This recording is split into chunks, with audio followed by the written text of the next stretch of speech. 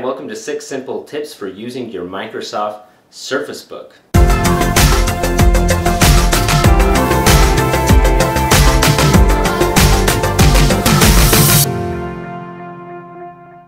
In this video we're going to go over some basic usage tips for the Microsoft Surface Book, so let's go ahead and get started. Okay everybody, tip 1. Now you might be familiar with the Surface keyboard and if you are there's a few tips and tricks and hitting shortcut keys that you might be interested in. So the first one is uh, along the top you have function keys and this is super basic don't worry. Uh, if you click the function that will actually lock in uh, you can see that it lights up there on the function key. That actually allows you to automatically use the F11, F9, F8, whatever keys if that light is lit up. Some people really like hitting their F5 buttons to refresh web pages and they're really used to function keys. Um, if you just want to, you know, use these top row keys for moving the volume up and down, make sure that little light is off and then you will have the brightness for the keyboard right there. You'll have the uh, volume up and down. and um, let's get to the hitting keys that you may not know about.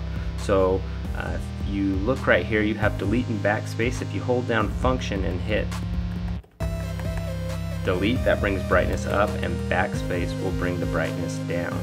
So there's those. And also you notice you have page up, page down, and home along the top row. The thing you may not know is the arrow keys also work for that if you are holding down the function key. So as you can see if I press down this web page will scroll slightly uh, but if I'm holding down function it will treat it as a page down. See that page down and if you hit left it will go home so that brings you to the home and if you hit the right it will move you to the end. So if you're scrolling on with the keyboard it's uh, kind of nice to have these page up page down and uh, there you go. Secret keyboard commands on the Surface Book. Okay, tip two. Let's say you have a game or some sort of application you want to be able to control which GPU that it's using. For example, a lot of times when you boot up Minecraft, for whatever reason, it will automatically loaded into the Intel HD graphics rather than the NVIDIA graphics. So if you want to alleviate this, it's really simply just right click on the executable that you want to run and there's an option here that says run with graphics processor and you can choose the high performance NVIDIA processor. And you go ahead and click that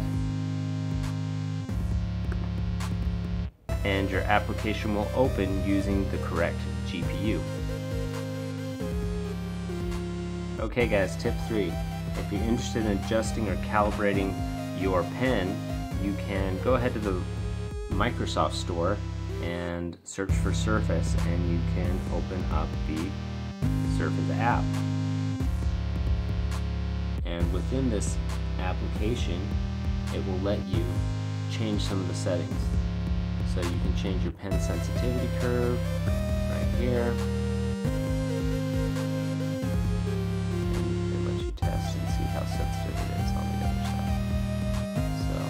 Back to stock, go ahead and hit reset and you're back to the normal sensitivity curve. There you go. Okay guys, tip number four, using the Surface Pen. Now, a simple click will take you right into OneNote where you can start taking notes about whatever you want. So let's say you're reading uh, something online and you're interested in bringing that information into your uh, OneNote file. All you do is double click the top here and that will take a screenshot and you can go ahead and pull that in to your OneNote. And the very last thing you can do with the pen, uh, besides writing and erasing and the things we've talked so far, is you can actually talk to Cortana. So if you hold the button down, you could do something like this. Tell me a joke.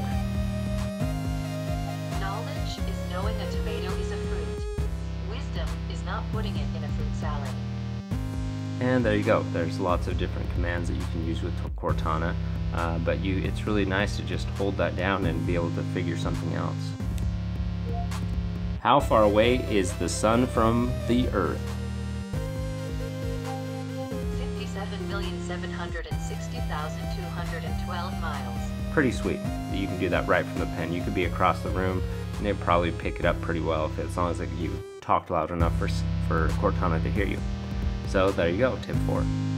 Okay, for tip five, we're going to talk a little bit about detaching uh, the Surface Book into its tablet mode. So we're going to go ahead and push the disattach button. I find it's easiest if you hold the button down and then hold the base right there and pull up. That keeps everything stiff so you can pull out without any issues.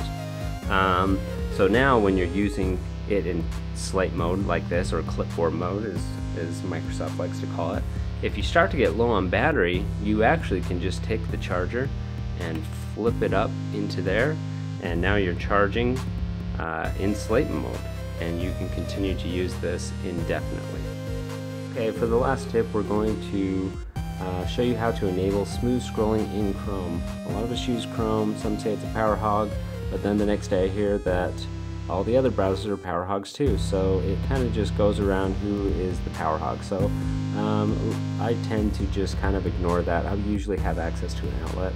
And anyway, getting on a side here, but let's go ahead and show you how to enable smooth scrolling. And to show you that, so if you're just swiping, yeah, it scrolls with your finger, um, but it doesn't have any of that inertia that you see a lot of times, uh, particularly on Apple products.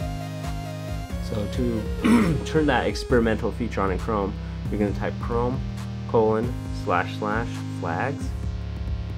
And you're going to scroll down to this setting here which says smooth scrolling. And you're going to click enable. And you have to relaunch in order to do that but we'll relaunch it and go back into here. And you can see that you now have some inertial scrolling on here.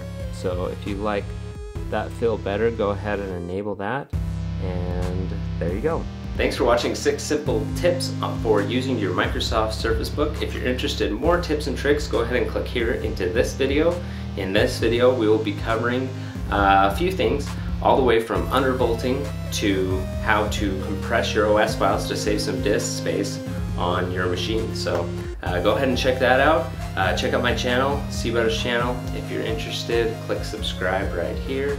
And check us out for more cool videos. We'll see you soon.